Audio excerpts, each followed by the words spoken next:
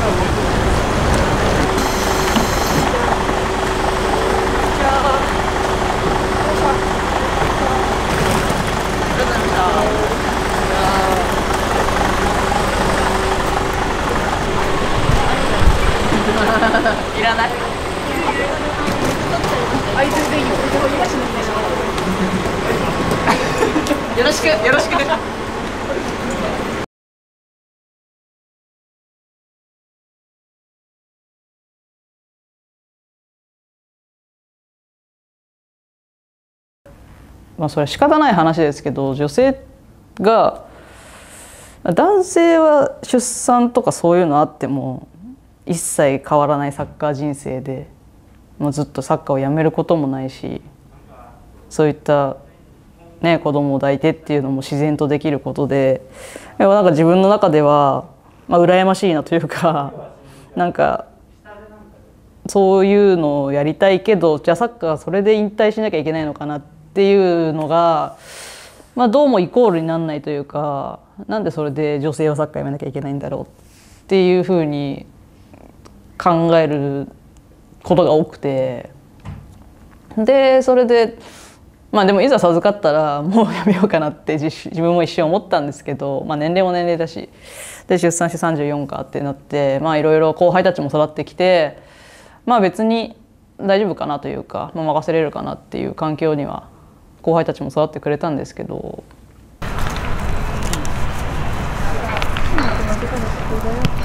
現役を続けようって思ったきっかけをくれたのが、まあ、母親なので自分は。報告した時に、まあ、最初はもう本当に辞める覚悟でというかっていう自分もいて。ですけどもうもったいないというか。やってみたらいいじゃないみたいなアドバイスをもらってそれではい復帰を目指すっていうことに決めました。自分も。まあ、チャレンジしてほしいって思ったんじゃないですか。そのママさんサッカーというか子供を産んでもやめる必要はないというか、まあ、あと多分単純に自分がまたサッカーやってる姿を見たいんじゃないかなって。お母様が、うん。まあ、少し思ったりもしましたけど、うん。まあ、そういった意味合いがあったかなと思います。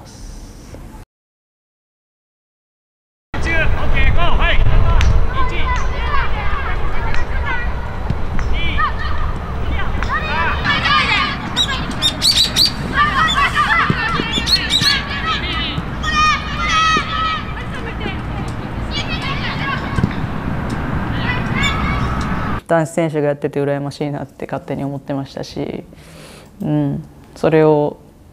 女子選手がやるってかっこよくないかなと思って。でまあ思ったそうやって思うきっかけを作ってくれたのもそのアメリカの代表とかはなでしこジャパンとして試合してりとかして大会が終わった後とかピッチに子供が入ってきて一緒にねあのグラウンドでクールダウンしたりとかっていう光景をこうチラチラ見てて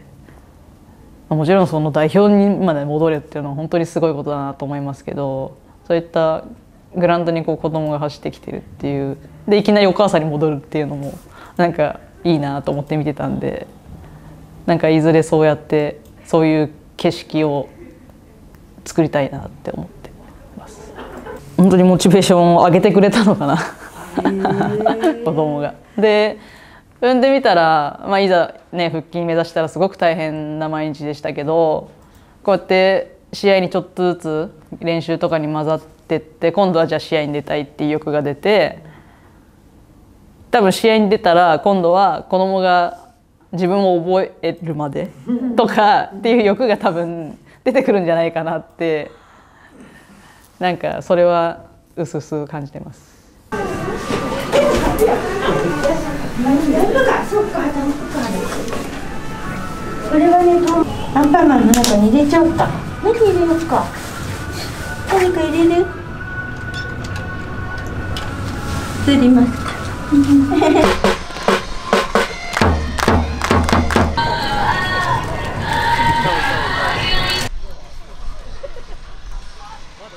子育てしながらあの現役で活躍されるのはとても大変だと思いますしあの応援しています。同じママとして。どうですか？自分だったらどうですか？いや無理ですね。もう自分の体を動かすのさえ無理ですね。じゃあ結構まあそういう姿を見てると、あ尊敬します娘があのサッカーやってますのであのそういった方があのいらっしゃるととても夢のある話だなと思いますしあのすごくあの次につながることだなと思います。女性としてすごくあの偉大なことしてるなって、うん、思います。はい。いや両立できるのかなっていうなんか協力してあげられるようなしてあげられないようなあの大変な世界なんだろうなとは思います。すごくねそれ子供と一緒にサッカーやってるのを見たりしてすごくいいなとは思うので、まあ、ぜひあの、ね、入場一緒にしてもらうのをあの見れるのを楽しみにしてます。応援してます。レレーナ頑張れ。次はですね B リーグ初スタメンとなります手だと思います。黒沢選手のこういったプレーを注目していただければと思います、またこちらも対戦相手で吉田選手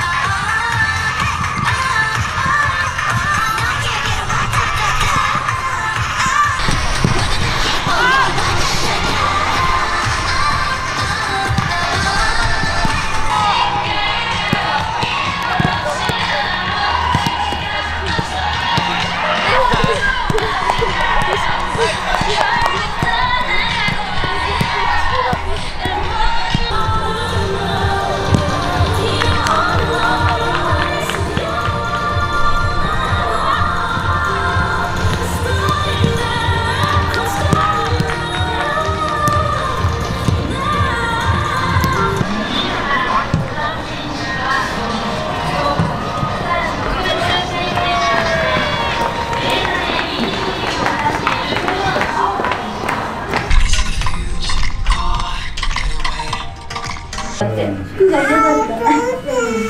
ママに会えるよママママ。ママママママ行こうママいるよ。ママと同じだね。ママと同じだね。ヒロ持っていくヒロは？ヒロはいる？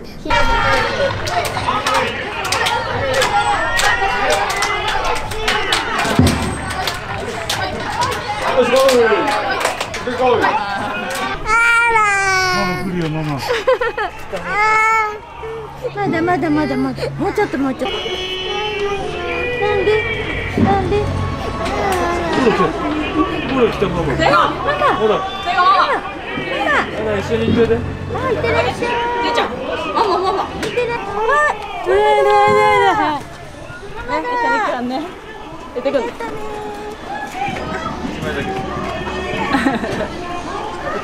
いい、行く飛んでる、飛んでる、飛んでる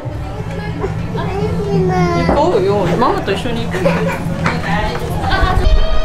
テレ東京ベルディベレーザ対 AC 長野マルセイロレディス両チーム選手の入場です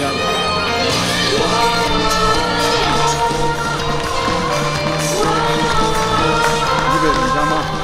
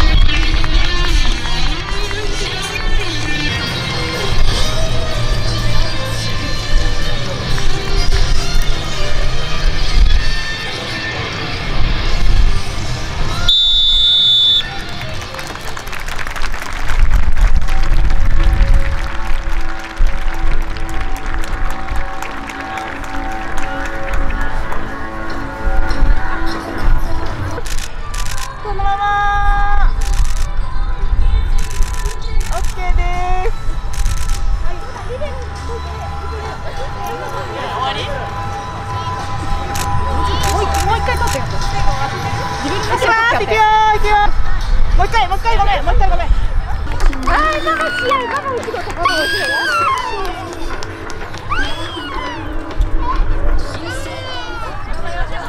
泣い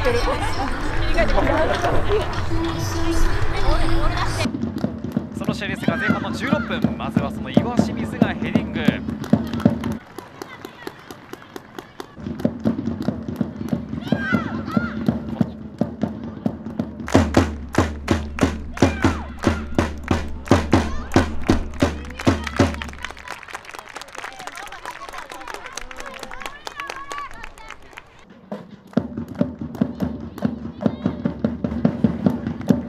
は前半の39分。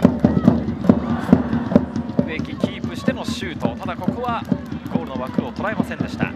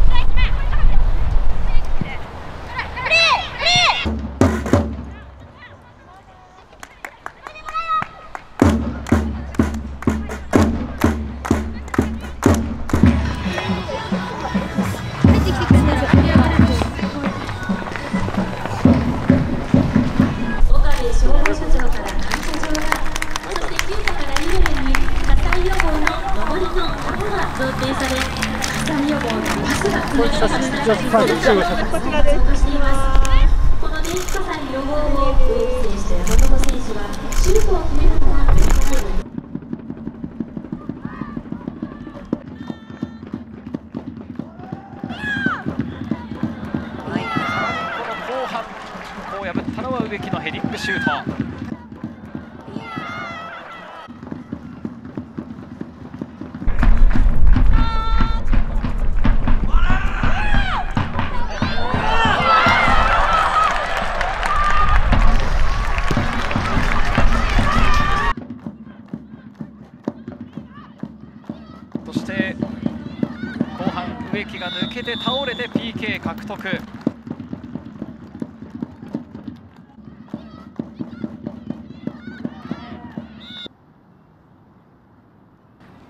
ここでしっかり冷静にね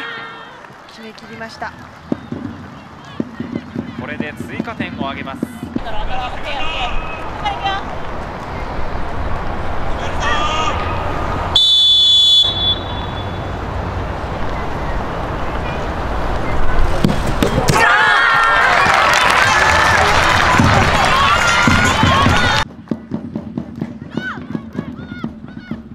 さらにはここで植木がいって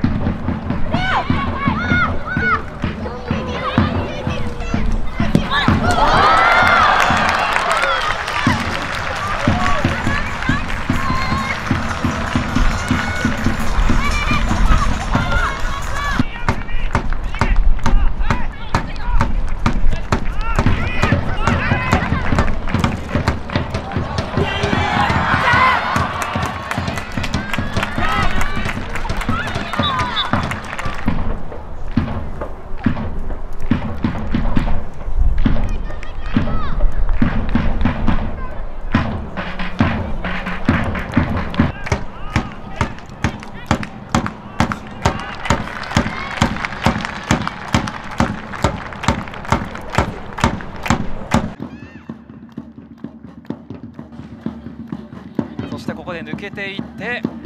植木これでハットトリック。気持ちの強さが出てましたよね。もう私が譲らないというね。コースも素晴らしかったです。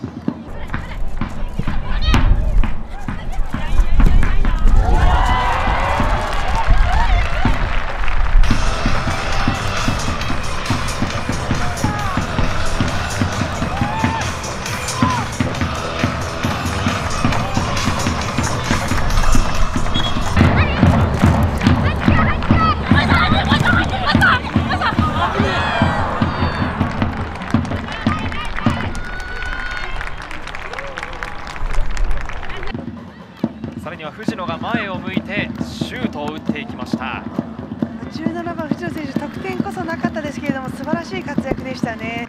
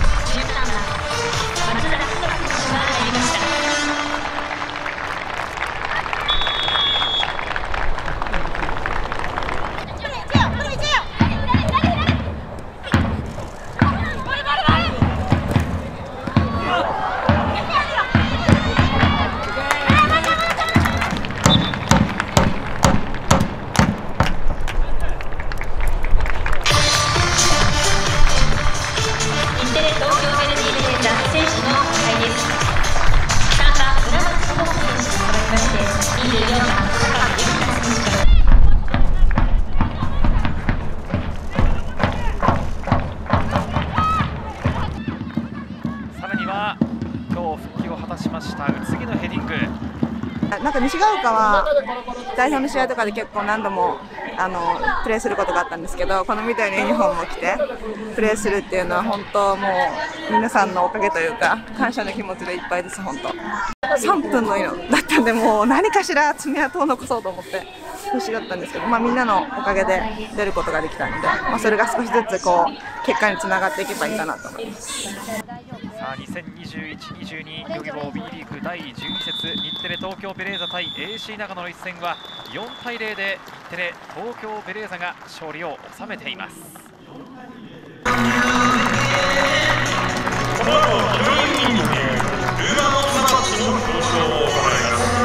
後期連勝して、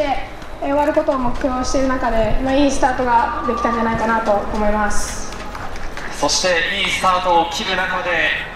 自身のハットトリックになりました試合振り返ってくださいはい、えっと、後半少し修正できるという話をしました大野植木選手のハットトリックの活躍がありました今植木選手のサインが書いていただいているところです。改めてどうぞ大きな拍手をお送りください、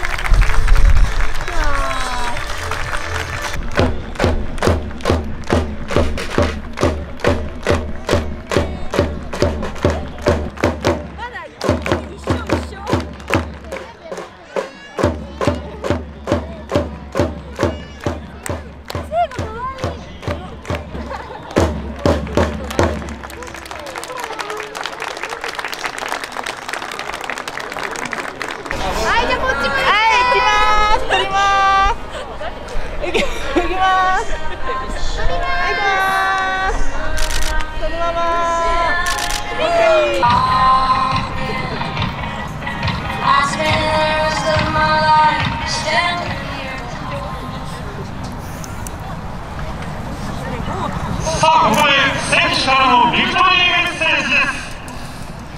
勝ちました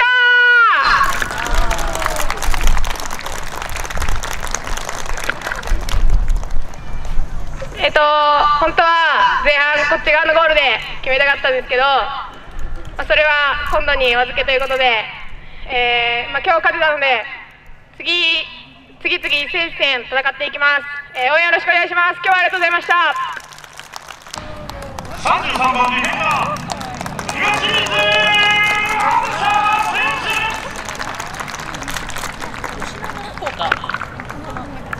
えー、やっと目標が達成できました。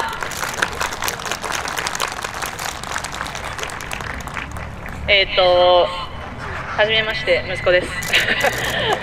えっと、今日はみんなのおかげで、あの最後もこうやって皆さんの前に連れてこれましたけど、えっと、またこれからもこういった自分が出て、えっとまあ、息子も連れてってっていうのを試合をいっぱいできるように練習から頑張っていきたいと思いますのでこれからも応援よろしくお願いします。今日はありがとうございました。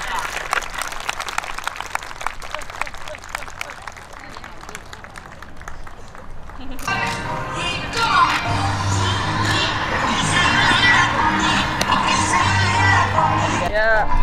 まあ自分の目標にしてた夢にしてたワンシーンというか一日になったので本当に嬉しく思います。ペコちゃん、ママ見見えた？試合のママ。マ分かったママ見てないよね。分かんなかった。どっち？分かった ありがとうございました。よし。バイバイ。バイバイは？